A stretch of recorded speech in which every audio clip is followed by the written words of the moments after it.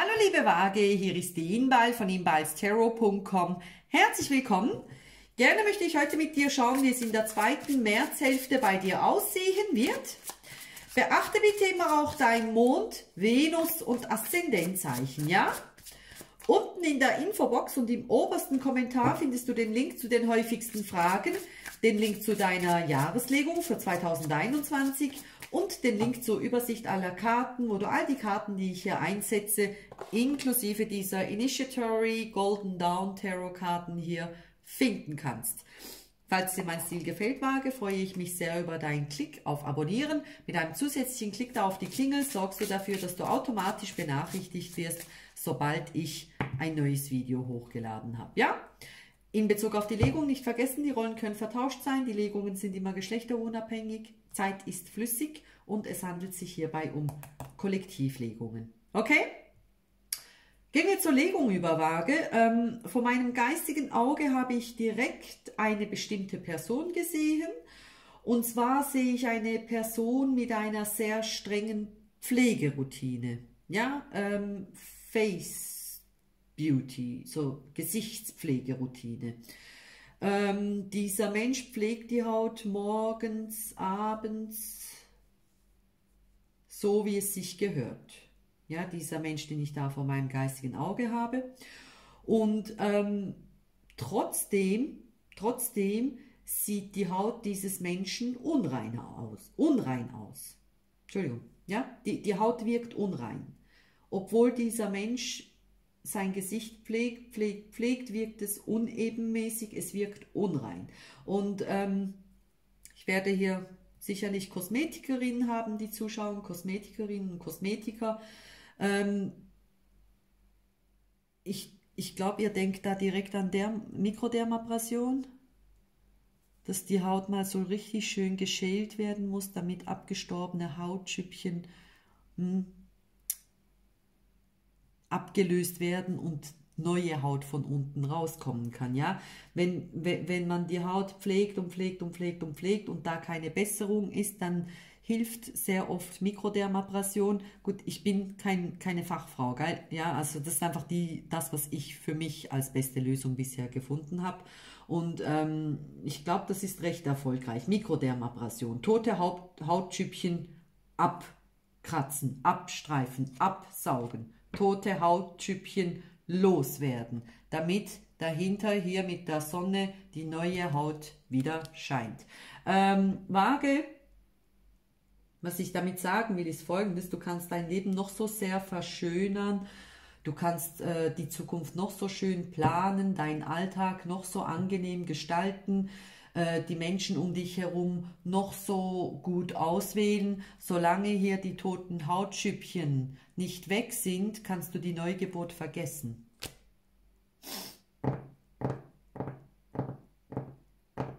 Du trägst da was Totes mit dir rum. Etwas, das wie, totes, wie tote Hautschüppchen noch an deinem Körper haftet und dich nicht strahlen lässt, so wie du strahlen solltest, Waage.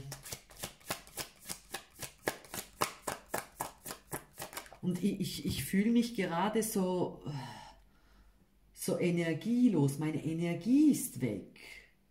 So wenn ich gedämpft, so wie wenn ich gedämpft werde. So irgendwas dämpft mich. Fünf der Münzen. Du hast hier etwas in der Hand, dessen Potenzial du nicht erkennst. Ja, ich fühle mich etwa so wie dieser Mann hier, so, so gedämpft. Ich, ich, ich kann, also wenn, es ist so wie wenn dir hier Gold in die Hand gelegt wird und du nicht erkennst, wie viel Potenzial dahinter steckt. Siehst du diese Weintrauben hier, die du hier äh, pflückst? Du denkst, ja, ich pflück die und dann esse ich die und dann ist das weg, ja. Aber dabei kannst du damit viel mehr machen. Siehst du diese ähm, durchschnittenen Weintrauben, ja, die, wo man so reinzieht, da sind Rosen drin, äh, Blumen drin und in diesem Deck werden Münzen mit Blumen dargestellt. Eigentlich kannst du aus diesen Weintrauben so viel mehr herstellen, dass dir so viel mehr im Leben äh, bestehen bleiben wird, ja, so viel länger bestehen bleiben wird.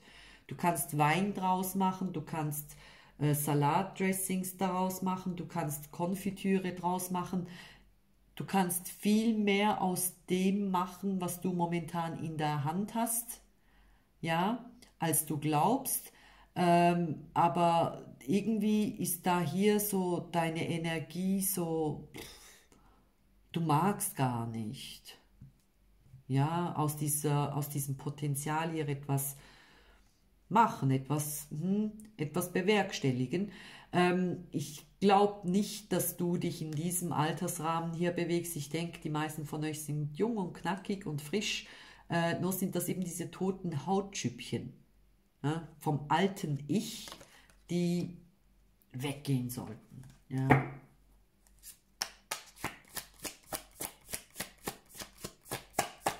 Ach, übrigens, liebe Leute, Mikrodermabrasion ist echt geil. Mhm. Also jene, die das noch nie probiert haben, das ist geil. Man kriegt so richtig, richtig, richtig Babyhaut im Gesicht. Mhm. For your information. Vier der Kelche. Siehst du das? Von diesem Kelch fließt hier was rüber, dann, dann fließt von diesem Kelch hierher. Hm? Siehst du das? Die Flüssigkeit springt von diesem Kelch in diesen Kelch, dann von diesem Kelch in diesen Kelch und danach wird es hier weiter fließen und dieser eine Kelch hier bleibt ungefüllt. Ähm, vor deiner Nase liegt eine Chance und du verpasst sie. Waage. Wegen dieser, ähm, du wirkst nicht apathisch, du, du wirkst nicht apathisch, sondern einfach zu müde, um das weitere Potenzial noch auszuschöpfen hier. Es ist so, wenn du sagst, es reicht mir durchaus, wenn ich einfach nur das mache. Ja? Es reicht mir aus. Richter der Kelche und hier dein Gegenüber dein Gegenüber sehr stolz, sehr auf, ja, steht hier sehr aufrichtig, sitzt hier sehr aufrichtig auf diesem Pferd, gibt dir sein ihr Kelch, sagt vage, ich liebe dich und du nur so, äh, muss das sein? Kann ich nicht einfach nur die Weintrauben hier nehmen und essen und diesen Kelch da, den ich auffüllen soll für mein Gegenüber, lassen? Hm? Äh, das Traurige hier, Waage, ist nicht, ähm, ich meine, es ist ja uns allen selbst überlassen. Mein Gott, man muss nicht jede Liebe übernehmen, äh, übernehmen, annehmen, die man haben, äh, die einem angeboten wird. Du musst nicht jeden Menschen akzeptieren. Äh. Das Traurige hier ist, dass es nicht, dass es hier nicht wegen Desinteresse so läuft, sondern wegen diesen toten Hautschüppchen aus deiner Vergangenheit. Eigentlich bist du auch an deinem Gegenüber hier interessiert. Eigentlich ähm, willst du auch die Liebe, das will jeder Mensch, ja. Aber die toten Hautschüppchen, das Tote aus der Vergangenheit sorgt dafür, dass du hier nicht genug Enthusiasmus hast, nie, nicht genug Kraft, Willen, ja, um hier diesem Ritter der Kelche hier zu begegnen. Okay?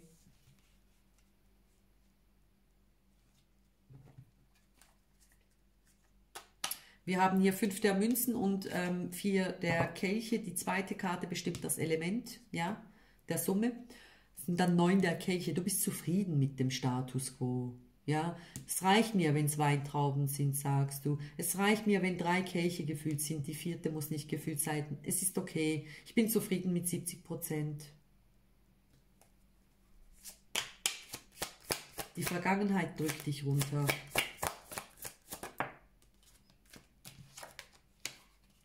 Sieben der Schwerter.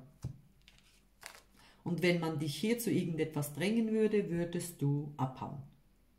Ja, du willst keine Konfrontation.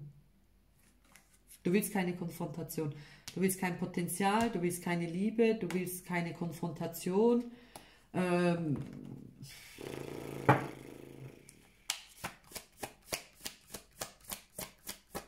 ja. Schauen wir mal weiter. Fünfter Kirche. Okay. Es ist traurig, aber es musste sein. Ja? Beziehungsweise muss sein, ja, ist eine Zukunftslegung.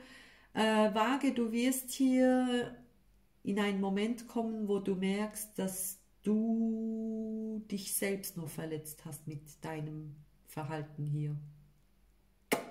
Dass deine Passivität dafür sorgt, beziehungsweise sorgen wird, dass du nochmals etwas wie begraben musst, ja. Es kommt mir vor, wenn das die gleiche Person hier ist, hier jüngere Version, hier ältere Version. Da gab es, äh, da gibt, da gab es irgendeinen Menschen in deinem Leben jetzt in letzter Zeit, äh, mit dem sich ein neues Tor ge geöffnet hätte, ja, wo du neu auf die Welt hättest kommen können, das Alte zurücklassen, aber dadurch, dass das Alte noch da war, wurde jetzt das Neue zurückgelassen hin zum Alten und jetzt stehst du wieder da, als alter Mann und leidest über deinen Verlust. Du gabst dich zufrieden mit dem Wenigen, ja, und ähm, du hattest hier nicht genug Vorwärtsenergie, um hier einen zusätzlichen Kelch zu füllen.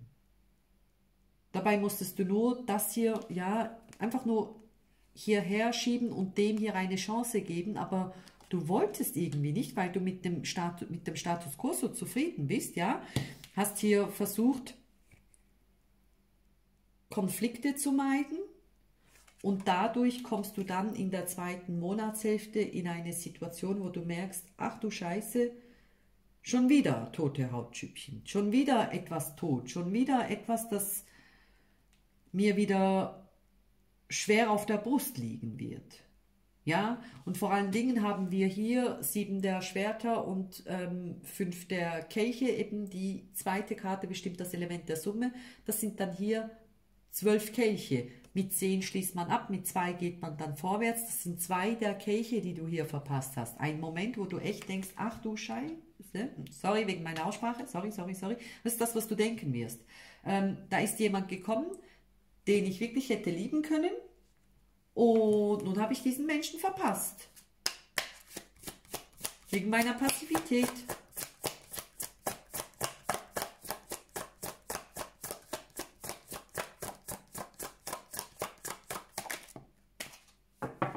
Zwei der Schwerter. Eine Entscheidung wird getroffen. Du wirst hier in Bezug auf diesen Menschen eine Entscheidung treffen, zwei der Schwerter und sieben der Schwerter, das macht dann Albträume, schlaflose Nächte. Gemixt mit fünf der Kelche hier wirst du hier eine Phase haben, wo du echt so wie den Boden berührst, vage, ja, so Rock Button nennen das die ähm, Amis, so die ähm, so den untersten Punkt berührst. Du wirst hier wirklich einen Moment haben, wo alles ziemlich dunkel ist und wo du dann dich ziemlich einsam und frierend vorfinden wirst. Das ist so dieses, diese Baby's Cold Outside Karte, ja. Es gibt einen Moment, wo du dann merken wirst, hey, schau mal, wie ich aussehe, schau mal, wo ich bin. Eigentlich sollte ich ganz woanders sein. Ich sollte eigentlich jetzt nicht hier stehen. Ich muss in Bezug auf diese zwei Kelche da, die ich vorhin nicht gesehen habe, eine Entscheidung treffen. Ja, und dann sehe ich dich hier in Action kommen. Waage. Ziemlich komplexe äh, Niedergeschlagenheit sehe ich hier. Ziem ziemlich komplexe, ja. Und ich hatte jetzt auch sehr Mühe, ich, wahrscheinlich ist es euch jetzt auch aufgefallen, ich hatte gerade ziemlich Mühe beim Reden. Du scheinst nicht viel ähm, preiszugeben, nicht viel zu reden. Gut, hier bist du passiv, hier, hier meidest du es, hier bist du traurig und hier entscheidest du dann auch für dich, ja. Du, du, du musst ein bisschen mehr reden mit deinem Gegenüber, ja. Hör dir auf Spotify oder YouTube so Musik zu, für dein Halschakra an. Irgendwie haben die Menschen im März Probleme mit ihrem Halschakra, ja. Da muss das Feuer wieder kommen bei dir, ja. Aus der Stäbe hier, geh ein bisschen äh, Musik hören. Okay, gib Halschakra ein auf YouTube, Spotify und dann kommt's. Einfach ein paar Mal anhören und dann sollte das gut helfen. Okay? Ich werde hier mit diesen Karten eine weitere Reihe legen, dann sehen wir, was hier genau passieren wird, worauf das Ganze hier hinausläuft. Diese Karten hier werde ich fragen, was du vor deinem Gegenüber versteckst und was dein Gegenüber vor dir versteckt. Da, wo ich Action sehe, ziehe ich eine Zeitkarte, dann wissen wir, wann das ungefähr stattfinden wird. Den Link für die Fortsetzung findest du unten in der Infobox und im obersten Kommentar. Falls dir mein Stil gefällt, freue ich mich über deinen Klick auf Abonnieren. Wir sehen uns auf der anderen Seite und allen anderen wünsche ich alles Gute, macht's gut. Bye bye!